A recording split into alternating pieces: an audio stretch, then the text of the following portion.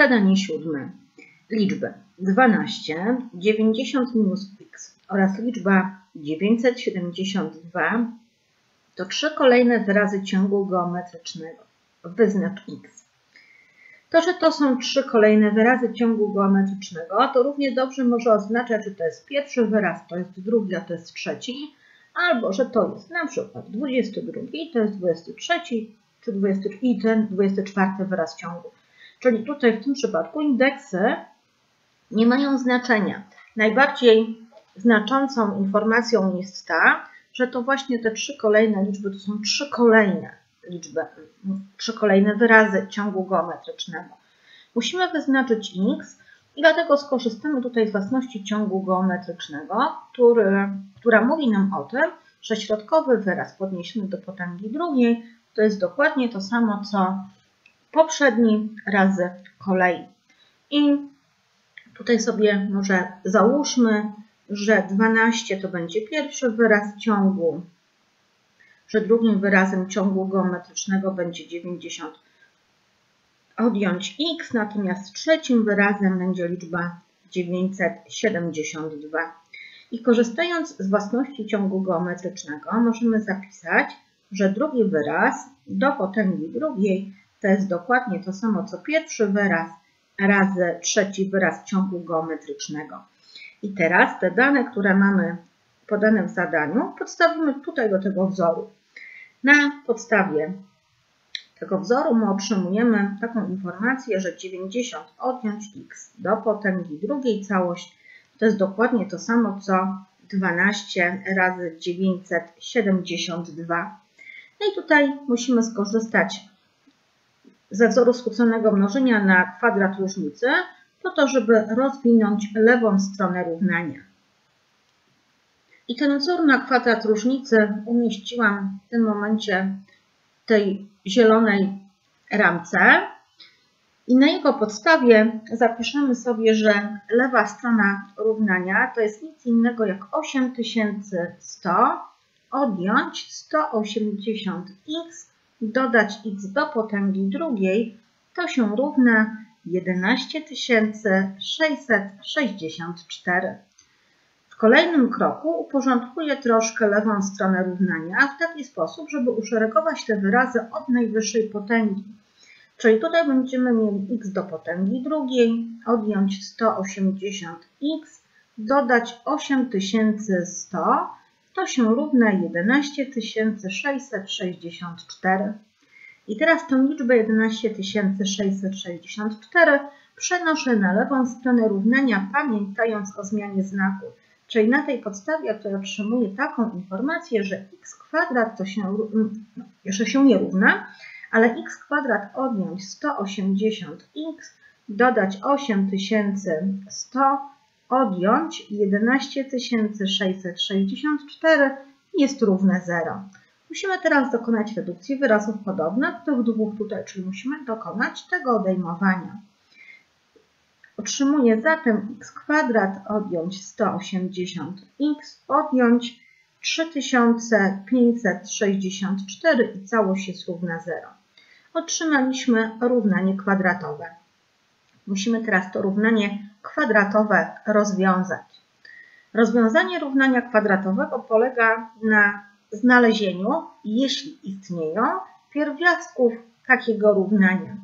Pierwiastkiem równania każdego jednego, także kwadratowego, nazywamy taką liczbę, która podstawiona pod niewiadomą sprawi, że wyrażenie będzie równe 0, czyli to wyrażenie po lewej stronie ma być równe 0, jeśli jakąś liczbę podstawimy pod x. I żeby sprawdzić, czy równanie kwadratowe ma w ogóle jakiekolwiek pierwiastki, to musimy policzyć deltę. Deltę liczymy tutaj z takiego wzoru, jak widzisz.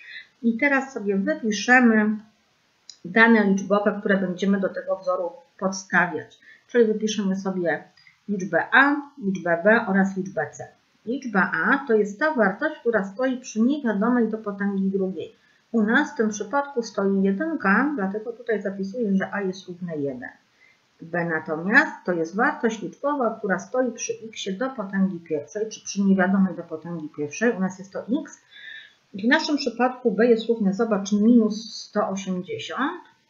Natomiast C to jest wyraz wolny, który u nas jest równy minus 3564. I teraz te wartości liczbowe podstawiam do wzoru na delta, czyli otrzymuję tutaj minus 180 do potęgi drugiej, odjąć 4 razy 1 i razy minus 3564. No i teraz oczywiście musimy to uprościć. Na tej podstawie wiem, że delta to się równa 32 400. No i teraz minus 4 razy 1 to jest minus 4. Minus 4 razy 3564 to jest plus 14 256. I musimy teraz te dwie wartości do siebie dodać. 32 400 plus 14 256 to jest 400, 4, nie 400, tylko 46 652. I teraz delta wyszła nam większa od zera. Jeżeli delta jest większa od zera, to znaczy, że równanie ma dwa pierwiastki. Te pierwiastki będziemy liczyć z takich wzorów. Minus b kwadrat minus pierwiastek kwadratowy z delty na 2a to będzie pierwszy pierwiastek, a drugi pierwiastek liczymy z podobnego wzoru, tylko tutaj w liczniku minus zamieniamy na plus. I tutaj sobie zapiszemy. I zwróć uwagę, że tu mamy minus b w liczniku, więc ja tego minusa, który znajduje się w tym miejscu, przepisałam, a teraz w nawiasie zapiszę minus 180, czyli tutaj zapisujemy minus 180, no i minus pierwiastek kwadratowy z delty. No właśnie, tutaj jeszcze musimy wyznaczyć sobie pierwiastek kwadratowy z delty, czyli pierwiastek kwadratowy z liczby 46 652, co jest równe dokładnie 216. Dlatego tutaj w liczniku teraz zapisuję, że odejmuję 216. Natomiast w mianowniku mamy 2 razy a, czyli 2 razy 1. I teraz popatrz, co mamy w tym miejscu. Tutaj mamy minus minus 180. Ten zapis w domyśle oznacza minus 1 razy minus 180. Co w rezultacie daje nam plus 180. Więc tutaj zapisuję 180 minus 216 dzielone na 2a. To się równa minus 36 dzielone na 2, czyli to jest minus 18. Policzymy sobie teraz na takiej samej zasadzie drugi pierwiastek i tutaj też mamy minus, minus 180, ale tym razem plus 216 dzielone na 2 razy 1. No i tutaj otrzymujemy 180 dodać 216 dzielone na 2. To się równa 396 drugich, co jest równe dokładnie 198. Czyli odpowiedzią tutaj do tego zadania, tak samo jak w zadaniu szóstym, tak samo tutaj, są dwie liczby. Jedną z nich jest liczba minus 18, drugą z nich jest liczba 198.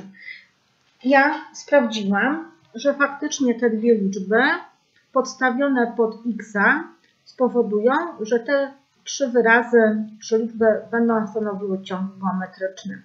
Jeżeli natomiast nie wierzysz, że faktycznie tak jest, to wróć koniecznie do zadania szóstego. W zadaniu szóstym ja pokazuję, w jaki sposób dokonać sprawdzenia. Ja już takiego sprawdzenia dokonałam wcześniej. W tym odcinku to już wszystko. Zapraszam Cię do odwiedzenia innych moich filmów, które zamieszkam, zamieszczam na moim kanale Matematyka Ilona Bednarska. Zapraszam Cię także na mojego bloga ilonabednarska.pl. Pamiętaj o tym, żeby materiałami dzielić się z innymi osobami, które uczą się matematyki.